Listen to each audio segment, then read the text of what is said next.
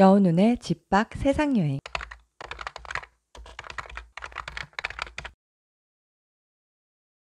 안녕하세요. 함께 그림 그리는 여운운입니다.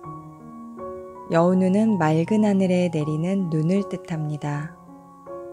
앞으로도 흰 눈처럼 맑고 깨끗하게 여우처럼 지혜롭게 세상을 바라보는 따뜻한 시선을 그림 속에 담고 싶습니다.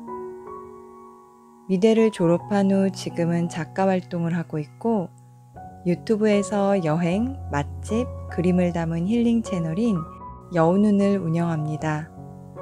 여기에 올리는 제 그림 콘텐츠를 보고 미술을 알려달라는 문의가 쇄도해 고민 끝에 이 여우눈 작업실이란 채널을 따로 만들었습니다.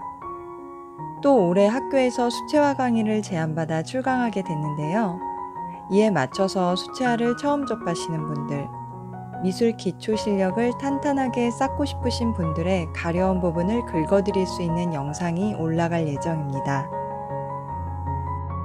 제가 일을 하면서 여우는 작업실과 여우는 채널을 동시에 운영하기 때문에 장담할 수는 없지만 최대한 화요일 오후 9시에 맞춰서 이곳에 영상을 올리겠습니다. 관련 영상이나 자료들은 상세 설명에 모두 적겠습니다. 앞으로 배우고 싶은 미술 분야나 평소 그림 그리며 궁금했던 질문을 댓글로 남겨주시면 참조하도록 하겠습니다. 그리고 다음 시간에는 미술 도구의 기본 재료인 연필을 함께 깎아보겠습니다. 저는 톰보로우 사비 연필과 커터칼, 비닐봉지를 준비할게요.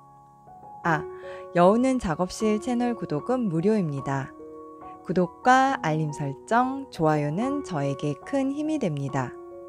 영상을 끝까지 시청해주신 모든 분들께 감사합니다. 지금까지 함께 그림 그리는 여우눈이었습니다. 편안한 하루 보내세요.